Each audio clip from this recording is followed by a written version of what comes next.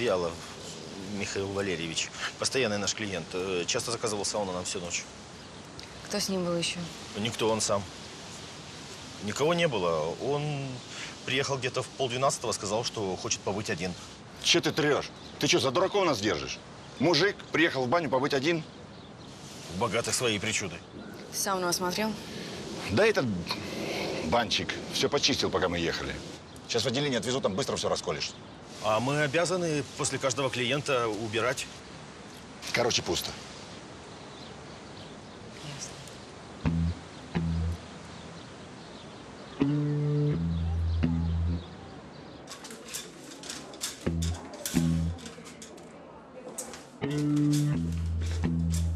Дежурный!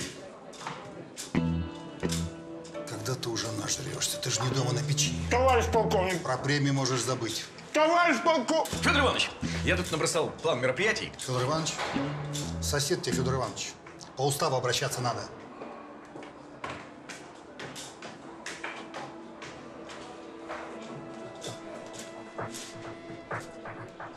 Слушай, а что это с ним? Ну как же я без премии? Слушай, Вареников, ты когда уже нажрешься? Вон мордяку себе дожрал. Вкус?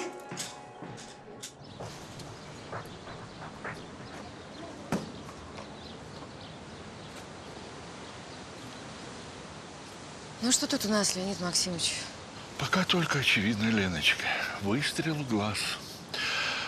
Э, Когда извлеку пулю, смогу назвать орудие убийства. Но если майор Дикий правильно определил место, то однозначно винтовка. Для пистолета далековато. Саша говорил, что было два выстрела. Вторую пулю нашли? Шукают. Как для винтовки, расстояние детское. И стрелок все-таки промахнулся. Стрелял дилетант? Если стрелял дилетант, почему он целился в глаз, а не, к примеру, в грудь? А потом вторым выстрелом все-таки попал. Для новичка это тоже очень хороший результат. Логично. Можно вас на секундочку? У меня к вам пару вопросов есть. Извините. Ничего. Я, собственно, что позвал-то? Хотел с вами поговорить. По поводу статьи я хотел с тобой поговорить. В чем дело? В чем дело? Я просто делал свою работу. Товарищ майор, что вы делаете? Он меня подставил. Народ имеет право знать правду. Правду, правду, а не вранье. Вам лучше уйти. Спасибо. Слушай, ты что делаешь? Я же тебя предупреждала, не связывайся с ним. Ты на чердаке был, ты что-то нашел?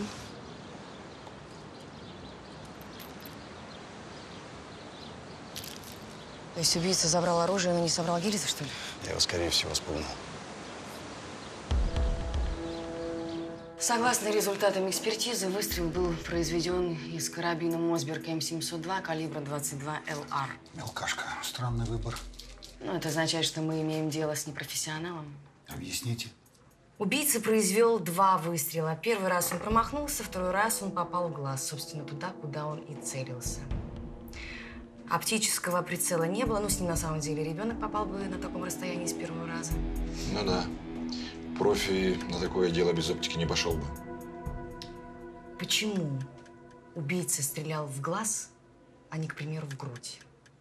Да, вокруг 22-го калибра существует устоявшийся миф по поводу его малой проникающей способности. Но на самом-то деле такая пуля пробьет 5-сантиметровую доску, а грудную клетку прошьет таки подавно. Но убийца этого не знал. Знал, не знал, вы что, в голову где вы залезли? Мне нужны факты, капитан, а не ваши домыслы. В общем, Завьялов – известный человек в деловых кругах города. Чем быстрее вы раскроете это дело, тем лучше для вас. Свободный.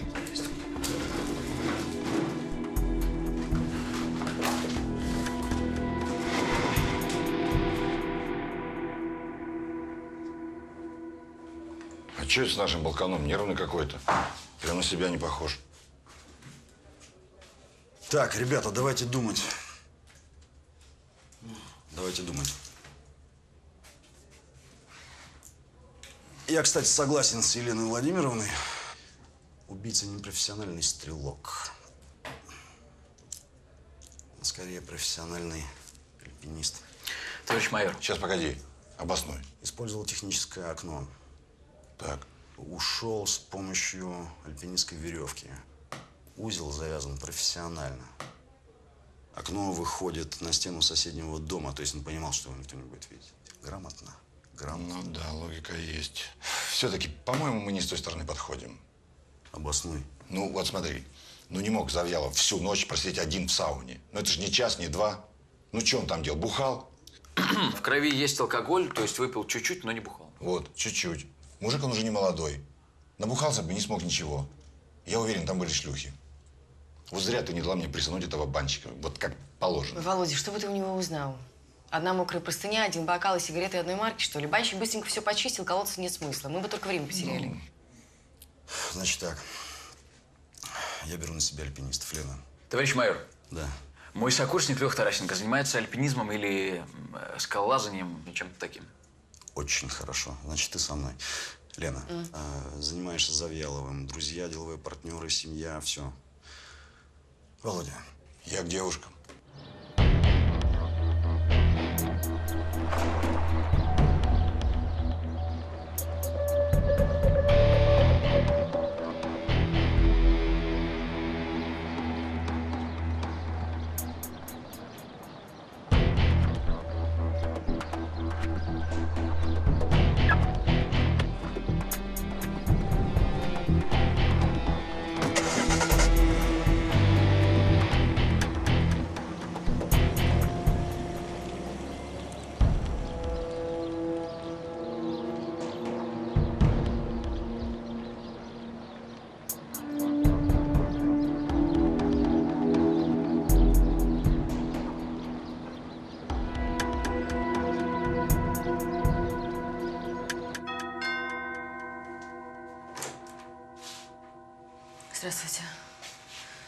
Капитан Холодова, уголовный розыск. Я бы хотела поговорить с хозяйкой дома. Спасибо.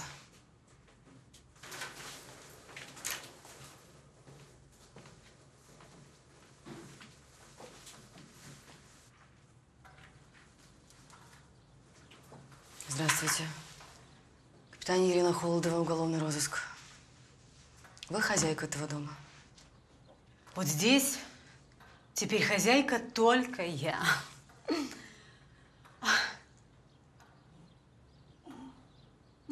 Потому что хозяина... Бах!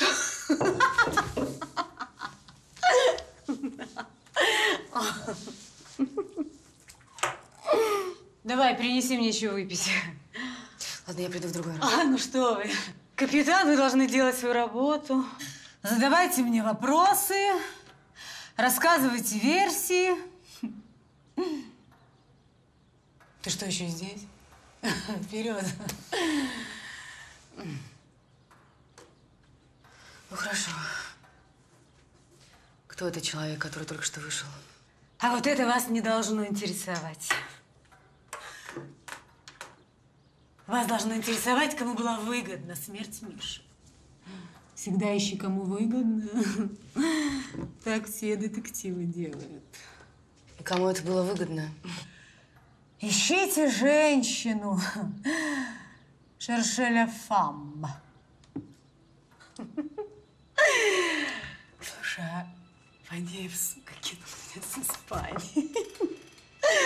А, а, это потому что мужик должен всегда оставаться мужиком. А Миша, знаешь, он такой гамахонький, но... Ой. Вот так. А Фадеев...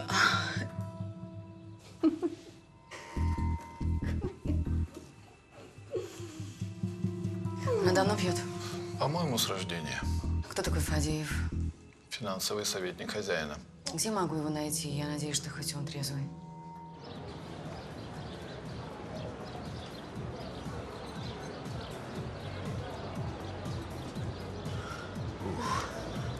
Ну ты пьешь. За мою фигуру переживаешь? Да нет, ты что, ты идеал. Причем во всех отношениях. Только вот единственное, в чем сомневаюсь, это твоей памяти. А ты не сомневайся. Этого козла забудет только склеротик. Так, значит, был частным клиентом, да? Михаил Варенич у нас по малолеткам выступал. Любил играть в папу и дочку. Ух. Нормально. Особых извращений эта игра не предполагает. Единственное, был у него один пунктик. Так. Он как напьется, девчонке нож в руки дает и заставляет себе угрожать. А когда этот дура ведется, он ее так избивает, что... В общем, я своих девчонок ему не давала. А кто давал? Понимаешь? Чтобы с ним нормально работать, девчонка должна быть молоденькой. Ну, или выглядеть как малолетка. Сама не пить. И ему не давать напиваться. Круто. Редкое сочетание. О, и в городе таких мало. И я знаю их всех. Ага. А, девушка, еще бокальчик, пожалуйста. Я весь внимание. А мои курочки лучше. Ну, я-то знаю. Ты про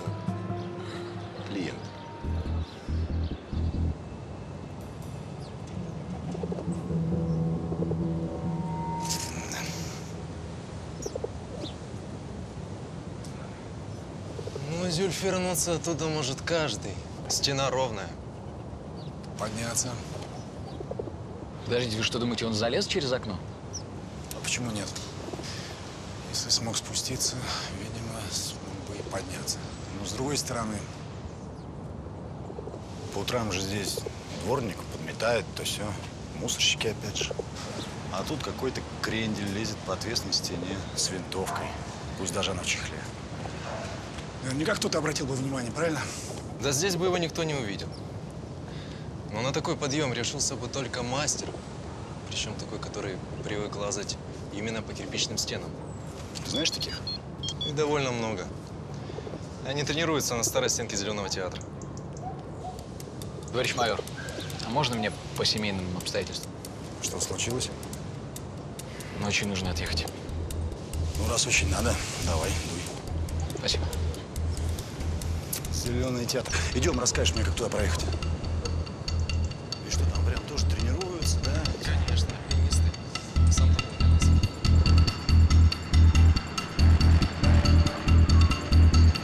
В последнее время дела Михаила Валерьевича сильно пошатнулись. Виной тому была как политическая ситуация в стране, так и ряд его собственных ошибок. Все как-то одновременно навалилось, понимаете? И вот тогда я посоветовал ему продать часть своих акций Егорову. Вы знаете Егорова? Ну, конечно, кто его не знает. Да, у Александра Сергеевича очень серьезные активы и, что гораздо важнее, связи во власти. Одним словом, он помог Завьялову удержаться на плаву. Что-то я никогда не слышала о его меценатских наклонностях. Ну что вы, о каком меценатстве можно говорить? Просто Егоров контролирует большую часть бизнеса Завьялова. И где-то около недели назад Михаил Валерьевич попросил меня разработать и рассчитать рабочую схему, которая бы позволила ему выйти из-под опеки Егорова. Рассчитали? Нет, не успел. Дело-то непростое. Да к тому же уже никому и не нужное. Михаилу Валерьевичу все равно.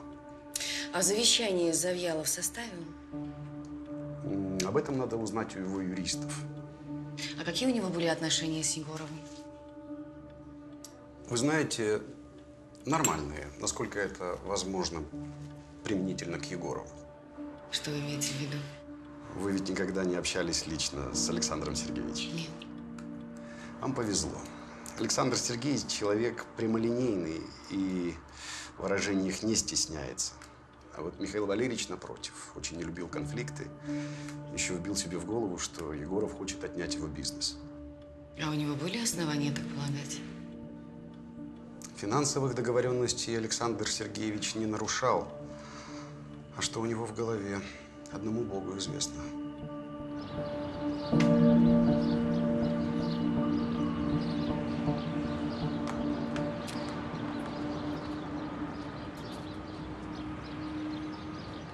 И меня ждешь? Ой, Игорь, ты меня напугал. Вижу, что не меня. Я получил твой смс. А, да, Игорь, ты мне правда нравишься, но Антон, понимаешь? Не понимаю. Он обижал тебя, вел себя с тобой как с вещью, которую купила. Ты же мне сама говорила. Да. Ну, понимаешь, он... Он пришел к нам домой вчера. Он поговорил с папой. Он сказал, что он изменился и осознал все. И моим родителям он нравится.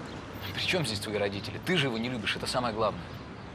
Ты просто не знаешь моего папу. В общем, Игорь, ты не звони мне, хорошо? Я сама тебе позвоню.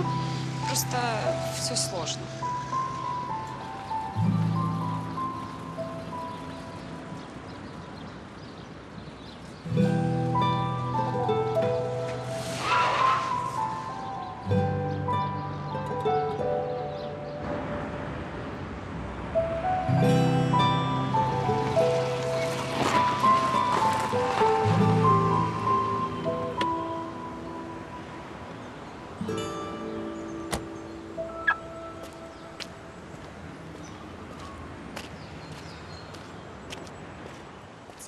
Цепляйся, цепляйся за каждую трещинку.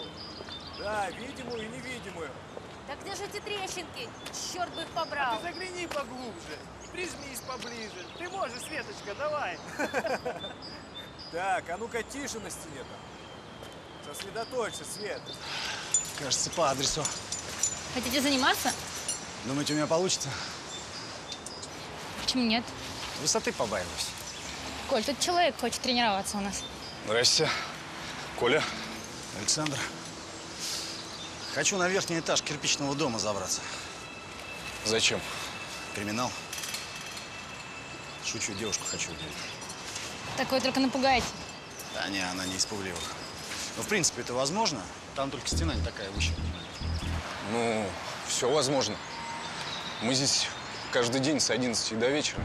Приходите, по оплате договоримся. Хорошо. А сейчас, извините, торопимся. До Всего встречи. доброго. До свидания. Ну, ты знаешь, я думала, будет лучше, чем... Ой, как это мокрый. Ну, сама понимаешь. Давай.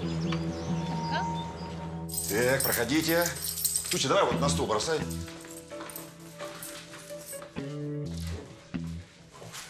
Давай. Вован, что за спешка? Дернул нас из кабака. Анатоль, кабаки сейчас не актуальны. И, как сказал классик, пьянству бой. И тетки. Вот. Сечешь фишку. Значит так, вот список телефонов и фамилий девчонок, которых нужно пригласить в гости. Сначала задам им пару вопросов, ну а потом оттянемся, дабы не пропадать добру, да? Ну ты платишь. Оперативные расходы. Вот, вот, отлично, Толик. Пошутил вот так вот. Блин, мне хотя бы значок дадут? Почетный спонсор райотдела. Звони давай.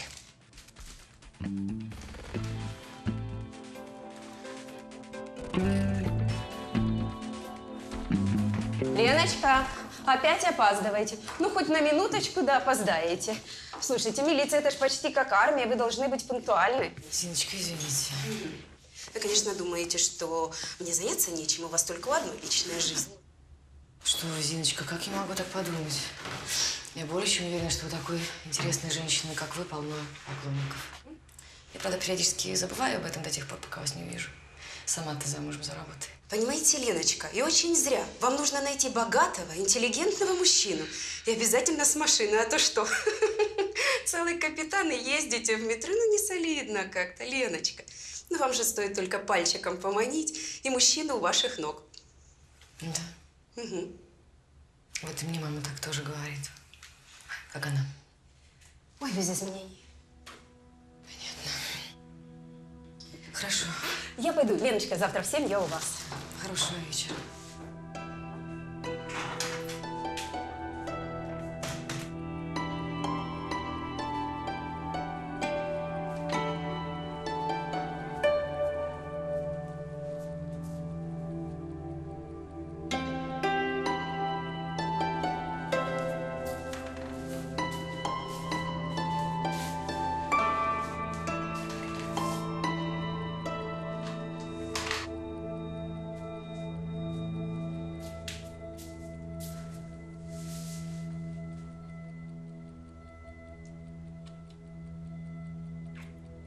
Ну как ты?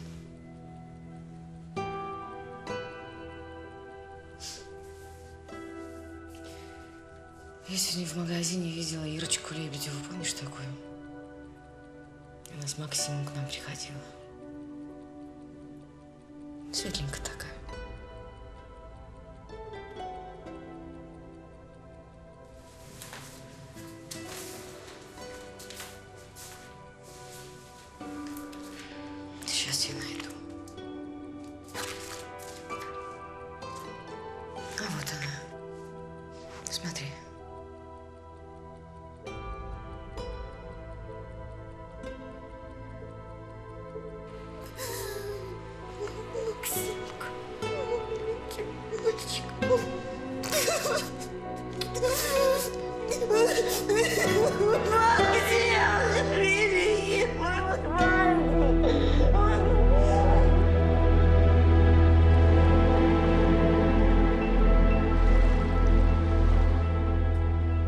Да, бабуль.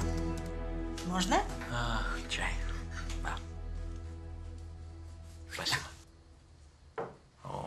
Что, с Машенькой облом вышел? А я предупреждала, не лезь. Бабуль, я сам разберусь. Сам. Вот твой отец тоже таким был. Подожди, про папу. Я ж никогда не спрашивал. Расскажи, пожалуйста, почему вы 20 лет с ним не общаетесь? Что случилось?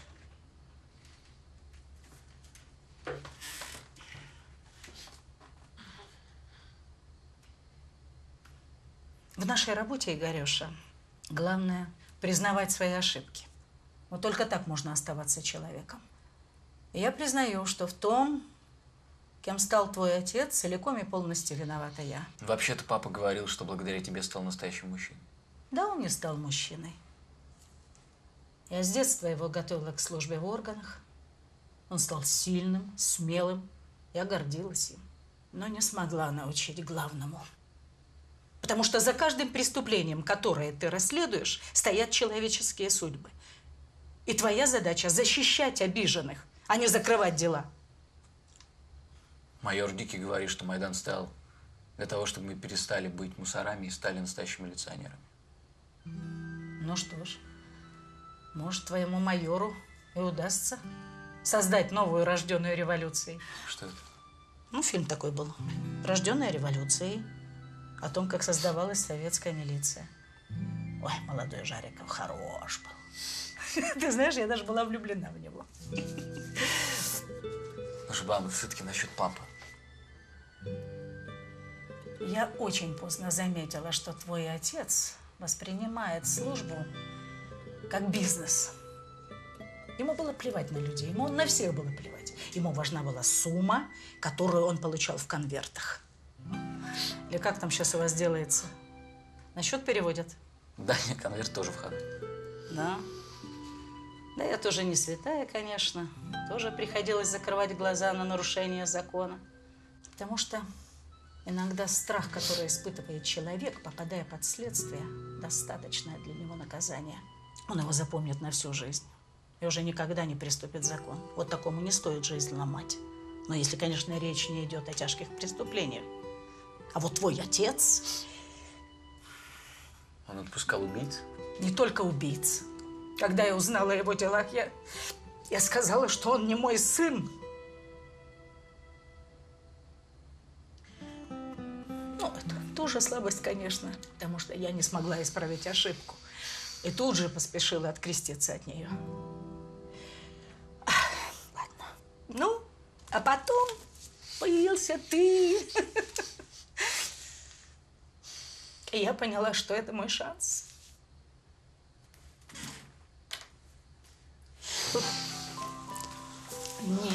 Повторяй наших ошибок. Игорёш, а я всегда тебе помогу. Проходим, девочки мои хорошие. Привет, мальчики! Добрый вечер. Ну, ну, ну, ну, ну, давай, давай. Проходим, проходим, девочки. Здравствуй, Зоя Зая. Чего ты боишься? Я же тебя обидел когда-нибудь, а? Пойдем помрлычем. Ну-ка, веселимся, друзья. Да, да, да, нормально.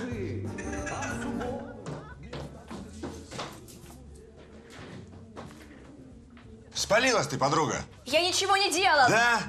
И в сауне с Михаилом Валерьевичем не была, а? Может, еще скажешь, что не знаешь такого? Я не убивала. Вот. Вот и молодец. Убивать это вообще дурная привычка. Давай, рассказывай, как дело было. Ну, Глаза. Он выдернул меня ночью. Пообещал двойной тариф. Я приехала где-то в начале первого. Он вообще был какой-то странный и на себя не похож. То вечно в своей папиной дочке играет, а тут набросился сразу. Вот. Мгм. Смотри, То есть перевозбудился, да, пока тебя ждал? н- не думаю, что меня. Его, походу, просто продинамили, а меня он так, на замену вызвал. Так, интересно, интересно. Что потом было? А что потом? Потом он заснул и проспал до утра. А когда уходил, то толкнул меня и деньги в лицо бросил. Я потом стала собираться и слышу выстрел. Выглядываю, там Валерич мертвый и мент этот, с которым вы Макса винтили тогда. Ну, я и попросила Гошу, чтобы прикрыл меня. Половину денег отдала. Это он меня сдал. Да нет, он прикрыл, как обещал. Слушай, расскажи про эту игру Завьялова, когда он давал тебе нож и заставлял нападать на него. Нет, со мной он никогда в нее не играл. Это вам лучше у Марты спросить. Он ее один раз хорошо отделал.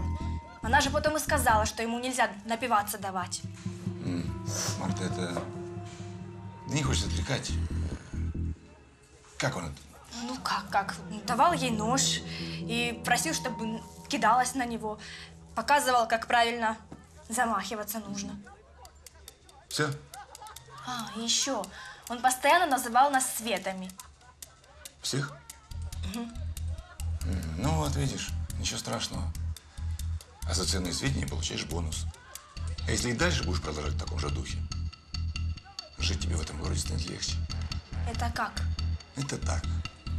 Толян мой друг детства, тот, который вас привел, поменьше ростом который. Так вот, он вас от любой шелупони защитит. А если он не справится, я отдам свой номер телефона и сможешь звонить в любое время. Ну, я подумаю. Конечно, подумай. Только недолго.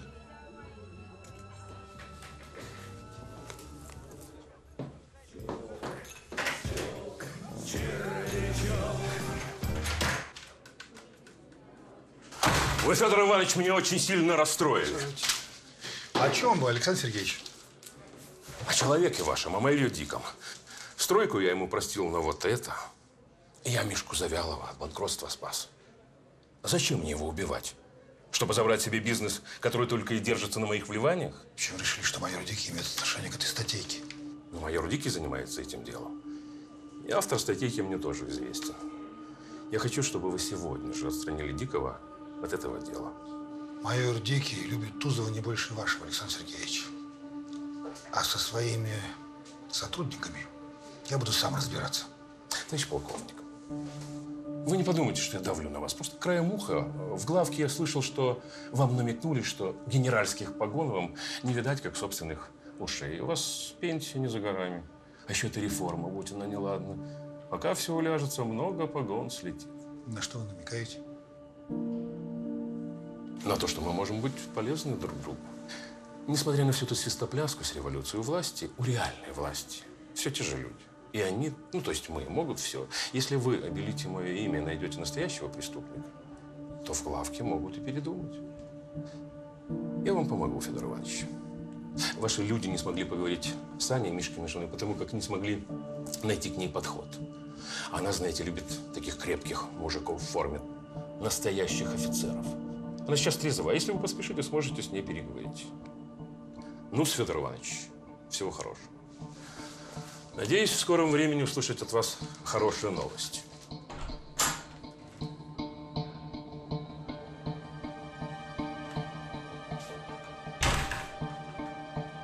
Федор Иванович, зачем он приходил?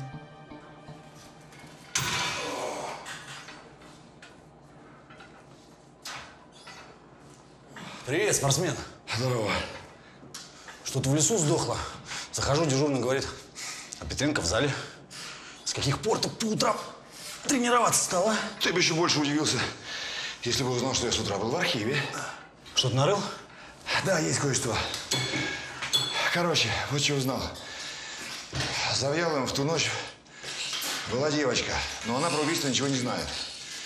Зато она знает кое-что другое. Что? Терпила наш, ну, покойный который, Завьялов, был частым клиентом у ночных бабочек. Выбирал девочек помоложе и всех их называл светами. Прикинь? Фу. А, Почему? Вот и я подумал, почему. Оказывается, у Завьялова есть падчерица Михаличенко Васильевна, 95-го года рождения. Это первой жены дочь Завьялова. Вот. И сдается мне, что у Завьялова были на нее тайные мечты. И мечты эти он с этими девочками сублимировал. Что бы это слово ни значило. Да я понял, что это значит. Слушай, а фотографии этой падчерицы есть? Ну, Лена ездила к ним домой. Фух, может, она что знает? Она позвонила. Она, кстати, сейчас к безлюдному пойдет сразу. А давно она тебе звонит, чтобы сообщить о своих планах? А что тебя так удивляет? Я так просто. Я вроде как начальник. А, ну да. Все, погнали, спортсмен. Да, погнали. Надо еще в душ переодеться. Доброе утро. О, здорово. Тренировочку? Здорово, студент. Кругом. В смысле? Тренировка отменяется. Идем на доклад начальству. Уже? Ага. Все забудь о Егорове. Это приказ. Но, товарищ полковник, вчера из дома Завьяловых вышел человек Егорова. Я пробила его по номерам машины. И что? Я считаю, что неадекватное поведение Анны Завьяловой было как-то связано с его визитом, поэтому она и напилась. Не нужно спихивать свои неудачи на других, капитан. Не нужно! Разрешите, товарищ полковник? Смирно! Работаете из рук вон плохо, одеты черти как. Неудивительно, что не можете добиться информации от важного свидетеля. Я бы тоже не стал с вами разговаривать. Какая-то махновская банда! Так, Александр Ковалевский, Я. переодевайтесь в форму, поедете к жене Завьялова, снимите показания. Я один? Товарищ полковник, я же... Капитан Холодова, Я. поедете вместе с ним в качестве группы поддержки. Мне тоже форму надеть. А, черлидерш. Отставить! Майор Дикий, капитан Петренко, от вас жду отчета о вчерашней работе. Поминутно! Все свободные? Есть.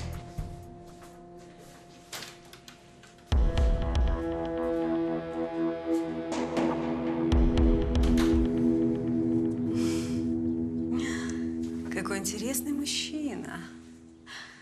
Как вас зовут? Лейтенант Ковалевский. Боже, лейтенант Ковалевский. Проходите. А ты давай, принеси выпить. Извините, мы на работе, но... Работают клерки. Офицеры несут службу. Как у вас там говорится, служить и защищать. Так точно. М, Какой сексуальный голос. Присаживайтесь.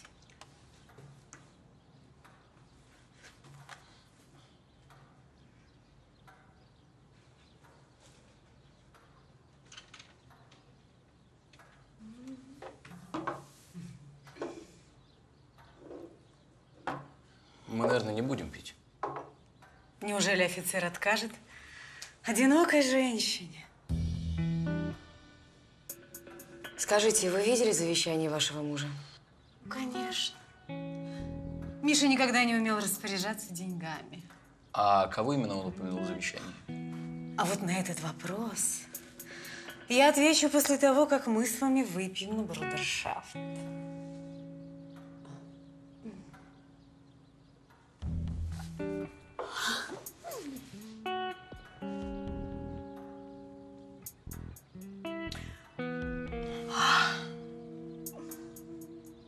Аня. Теперь я для тебя просто Аня. Игорь, э, все-таки насчет завещания. А, в завещании упомянуты все близкие знакомые Миши. Даже этой горилле он оставил непомерно большую сумму. Но главная наследница, конечно же, я. Анна, возможно, вы знаете, кто-нибудь из ваших знакомых увлекается оружием? Нет, что вы, это так грубо. Может быть, охранник? О, да. Он просто с ума сходит по большим пушкам. Но я думаю, Игорь, что вы не из таких.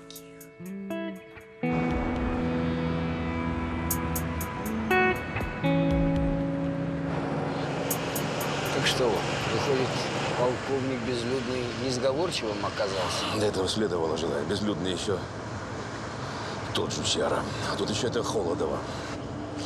Но все равно я не потерплю этого дикого майора с его карманным журналистичкой. Раньше менты с руки ели, а теперь готовы эту руку по локоть откусить. Может быть, мне этой Холодовой заняться? Да нет, ей уже занимается. Кстати, давно никакой информации не было.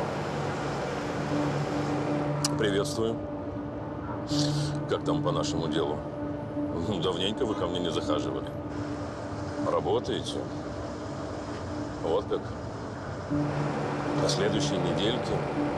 Ну хорошо, тогда до встречи на следующей неделе.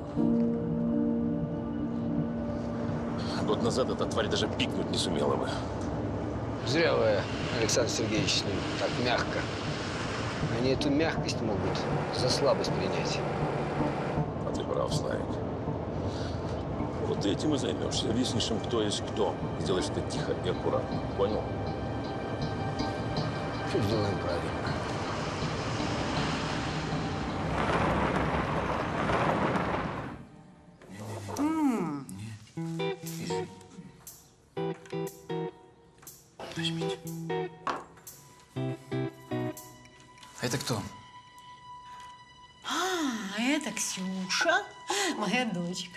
Красавица, правда? А вот эта Светка, Мишина падчерица. Дочь его жены от первого брака. Вот крайне испорченный ребенок, да. Миша для нее все сделал. Она, она его в грош не ставила. Но Ксюша с ней подружилась. А где девочки сейчас? А, ну, ну, так это Ксюша с няней в Греции, а Светка не живет с нами уже полгода, и слава богу. Она же маленькая. Да нет, ну это же старая фотография, ну, вот. Вот, мне уже 20 лет.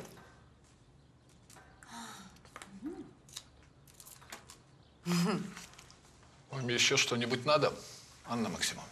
Да, капитан очень интересуется оружием. Покажи-ка ей свой арсенал. Да, будьте так добры. Пойдемте. Я ненадолго. Наконец-то мы одни. Слушай, я чувствую себя зеленым салагой, ну правда. Да, видать, полковнику здорово шею намылили в главке. Блин, получается, мы его вроде как подставили. Иваныча поставлять не по понятиям. Так, давай покумекаем, что у нас есть по этому делу. Э, Бизнесмен Михаил Завьялов мечтал переспать со своей падчерицей. Компенсировал это желание с проститутками. После очередной ночи в сауне его застрелил стрелок-любитель. Все. Смотри, э, в рапорте у Холдовой сказано, что Завьялов вел дела с Егоровым. Как думаешь, он мог быть к этому причастным? Ну, Егоров мог быть причастен к чему угодно, но думаю, что в этом случае сомневаюсь. Обосную. Егоров акула, матерый хищник. С Завьяловым я лично знаком не был, но думаю, что тип, который хочет переспать со своей дочерью, пусть даже приемной, слабак. Егоров бы его одним базаром задавил бы. Зачем убивать-то? Короче, фактов у нас нет. Я все равно считаю, что надо отрабатывать версию стрелка-альпиниста. Да, я, кстати, нашел людей, которые могут помочь. Надо к ним съездить. Хочешь со мной? Предпочитаете 7,62? Все, кто служил в армии, предпочитают 7,62. Да, но сейчас все более популярны натовские стандарты. Я стрелял 308-м Винчестеровским. Достойная вещь. Но свое как-то привычней. Ну да. А как вы относитесь к калибру 22 ЛР? Неплохо для новичков. Я хозяйских девочек учил на нем стрелять. Ксюша очень увлеклась, а Света не любила стрелять. Хотя у нее неплохо получалось. Она все больше о горах мечтала. О горах говорите. Ну да, скалолазание. Я не в курсе, не люблю высоту. А из какой винтовки вы учили девочек стрелять? Мосберг М702.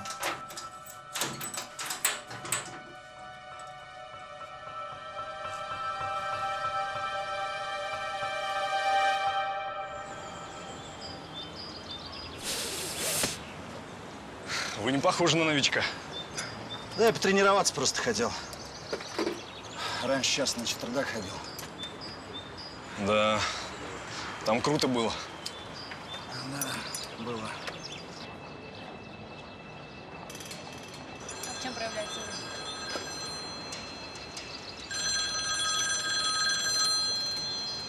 Да, слушаю. Саша, слушай.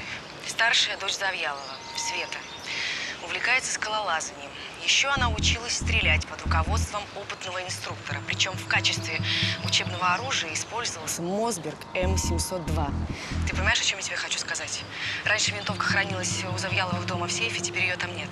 То есть, решившись на убийство, девочка использовала привычное для нее оружие.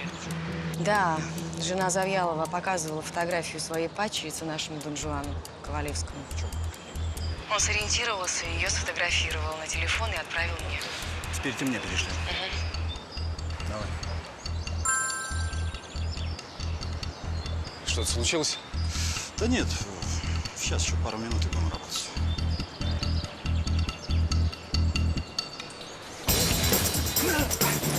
Светка, беги! А ну не дергайся. Молодец, Петерка. Я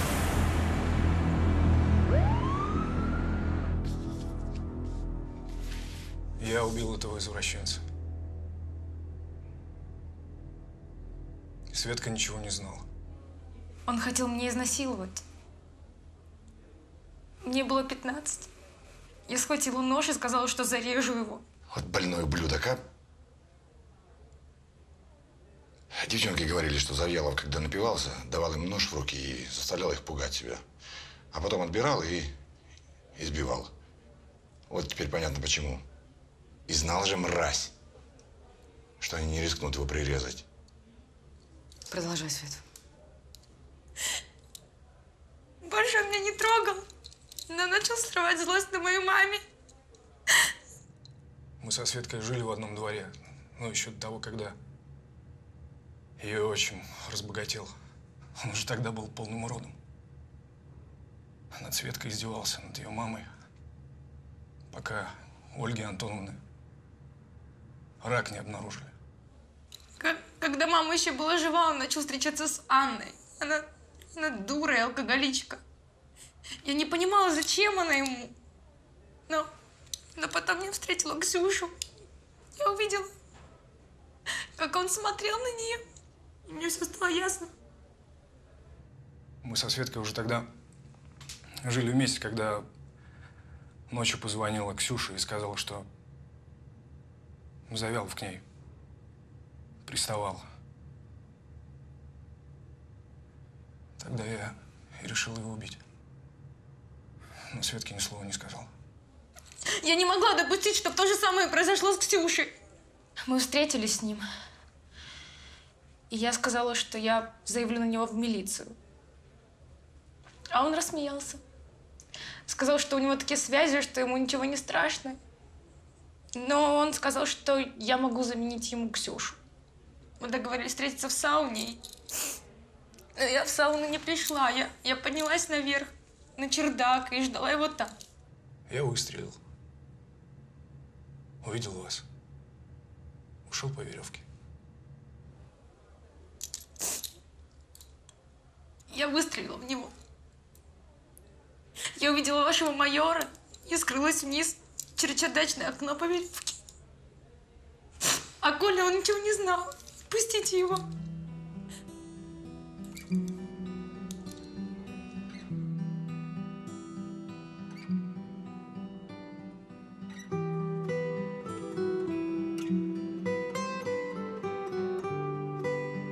Романтики.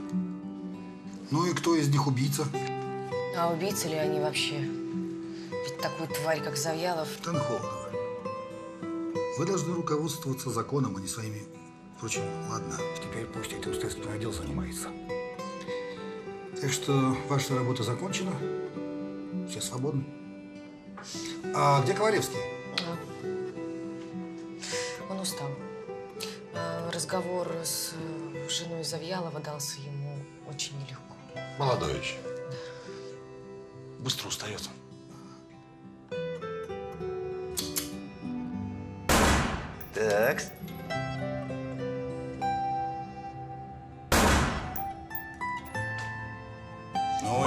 Майор выиграл. Доброе утро. О, студент.